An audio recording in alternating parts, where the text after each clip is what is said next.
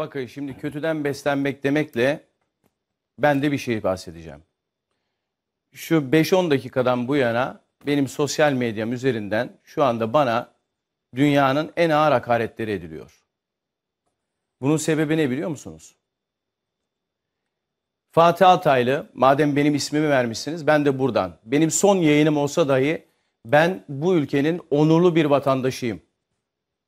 Bu zamana kadar Allah'a şükürler olsun benim alnım yere bakmadı. Geçmişimde bir tane lekem olmadı. Bir tane leke. Benimle ilgili TRT'den 400 bin TL para alıyor. Futbol Federasyonu'ndan 100 bin TL para alıyor. Ayda 500 bin TL para alıyor diye ekrandan iftira atıyorsun.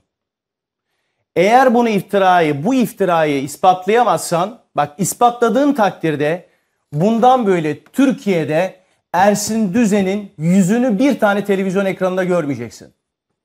Bak bunu eğer ispatlayabilirsen bir kez dahi bir ekranın en ufak bir yerinde Ersin Düzen'in yüzünü görmeyeceksin.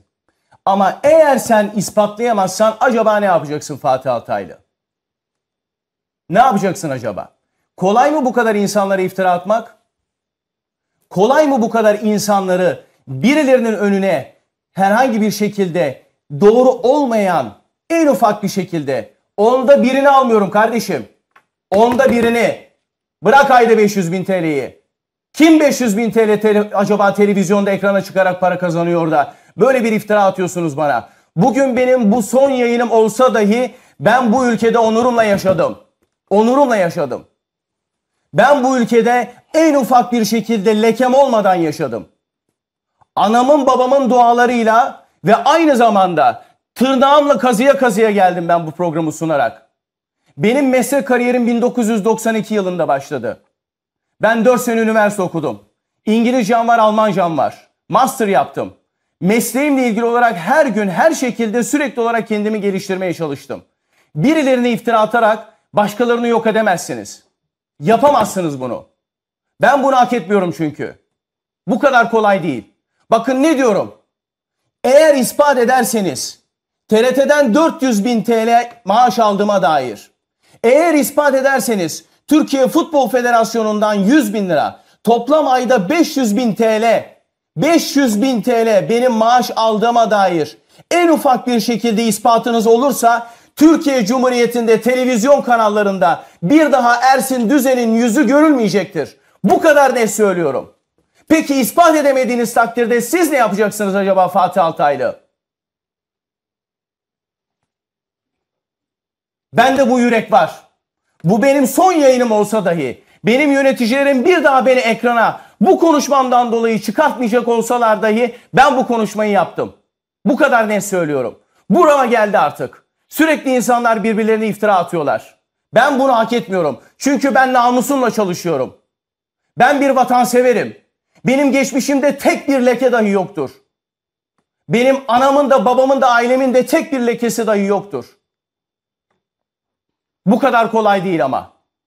Bu insanlar bana sürekli olarak küfür ediyorlar. Ben bunun için yapmıyorum bu işi. Aşkım için. Ben çocukluğumda bu mesleği yapabilmek için bunun hayalini kurarak büyüdüm ben.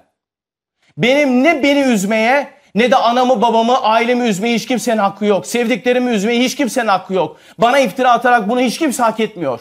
Hiçbir şekilde yapamaz. Hukuk önünde de bunun hesabını soracağım ben. Kariyerimin bitme noktasına gelmiş olsa dahi ben bunu bu ekrandan söylemeden bu programı bitiremezdim. 5-10 dakikadan beridir yapılan olmaz bu kadar da. Tüm yorumcularımızdan özür diliyorum. Kusura bakmayın lütfen. Estağfurullah kardeşim. Ama bu kadar da olmaz. Buyurun ispata davet ediyorum size.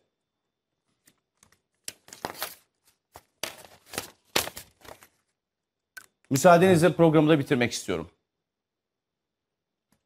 Özür diliyorum tüm izleyicilerimizden ama en ufak bir şekilde benim duygularıma, Tuba bir reklama birazcık duygularıma, birazcık bana inanmanızı ve hangi psikolojide bu konuşmayı yaptığımı lütfen empati yaparak değerlendirmenizi sizlerden istirham ediyorum. Bu ekranlarda bu zamana kadar hiç böyle bir konuşma yapmadım.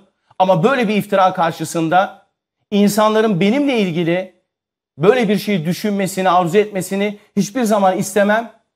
Bu bakımdan özür diliyorum sizlerden ama bu konuşmayı bir kez daha söylüyorum. Meslek kariyerim sona erecek olsa dahi ben yaptım.